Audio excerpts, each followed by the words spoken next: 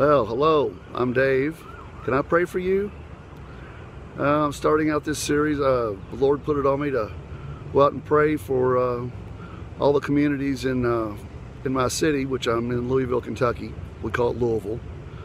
And I thought it'd be best just to start uh, down here. I'm down here by the county jail and uh, the Kentucky Career Center, which is our unemployment office. Figure they're back across the street from each other. So I thought it'd be a good spot. Here we got the Kentucky Career Center is right behind me. And then over there is the jail. And you can see the door, the big doors where when they bring people in, you can see the police cars running in. They go out the other end when they drop everybody off. So I figured it'd be a good spot to pray for everybody.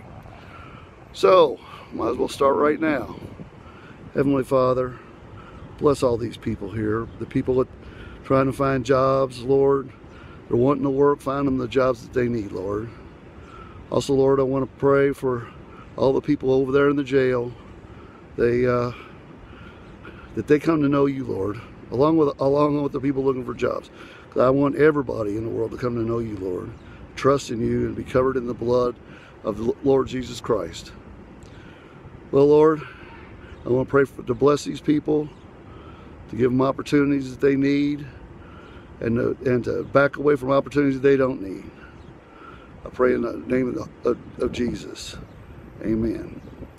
I'm going to be doing this series going around some, from uh, different, uh, well, lights kind of right there, going to different communities. There's over 200 listed just in, in this county, which is Jefferson County. And uh, we'll see how that goes. We're going to go, and I'm just going to pray for all of them for prosperity and for health and and for them to know Jesus. So here's my first one. We'll see how it goes. Thanks for watching. Please subscribe down below uh, if you feel led to. Uh, if you feel led to, there's a down in the description. There's a place where you can donate, help finance some of this. Because uh, the reason I'm down at the unemployment office is because I'm unemployed. so uh, I'm working to get a job, but you know, any help, help, you know, to go around and spread the word of Jesus. I've got some T-shirts that I'm coming out with that uh, just say on it, uh, "Can I pray for you?" It's amazing how how many times Lord will put it on you, put it on me. I'll be walking through Walmart, says you need to pray for this person, and then I'll uh, end up going there. Can I pray for you? And I've never had anybody turn me down. So we're out here just spreading the word of Jesus, praying for people. So I'll see you next time. Bye.